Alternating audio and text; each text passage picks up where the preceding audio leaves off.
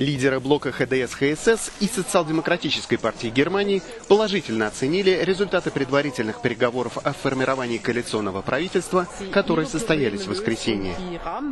Федеральный канцлер Ангела Меркель выразил уверенность, что коалиция будет сформирована и это произойдет быстро и эффективно. Лидер социал-демократов Мартин Шульц отметил конструктивную атмосферу переговоров.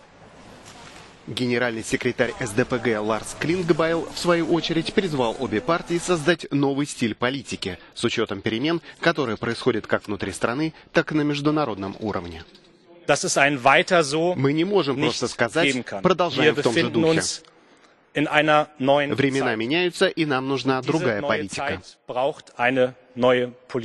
В ходе предвыборной кампании консерваторы и социал-демократы провозглашали диаметрально противоположные принципы по целому ряду вопросов, от налоговой политики до иммиграции.